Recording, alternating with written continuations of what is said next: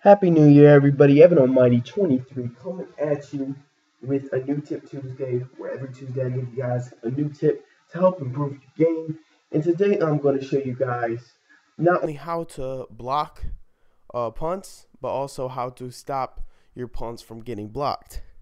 Now, if you guys have seen how to block field goals, my other tutorial video, that is in the description if you want to check that out, um, know how to block field goals.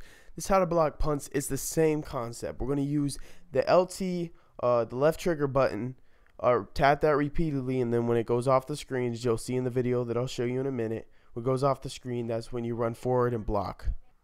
This play almost has the same setup as the field goal block, the only difference is you're going to have your man on the left side of the field instead of the right. And another thing you have to do is you have to run commit your defense towards the middle. So now I'm going to show you guys some video footage.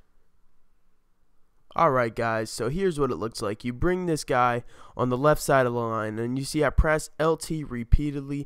As soon as it appears and you can't press LT anymore, you run forward and block the, the punt. And it helps if you turn off auto strafe. So look, right here, I ran commit middle. That's what you do first. Then you bring the guy over here and make sure you should go to your settings. You're in my Madden in the main menu and turn off auto strafe because that can make your guy run slower.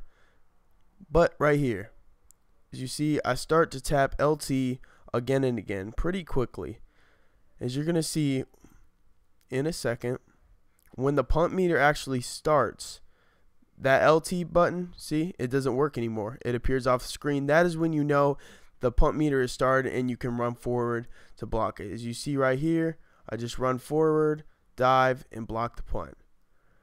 Now, the counter. Basically, to counter this, all you got to do is have max coverage punt. And you'll have blockers in the backfield and they will not be able to get in to block your punt. Thanks, guys, for watching. Make sure to subscribe for frequent Madden videos.